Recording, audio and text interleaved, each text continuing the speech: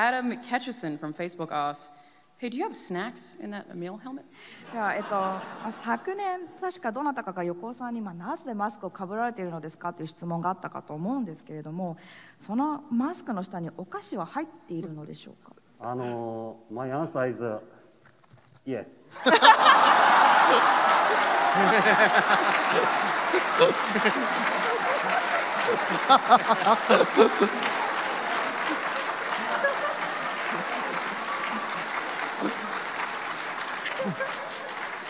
I respect that.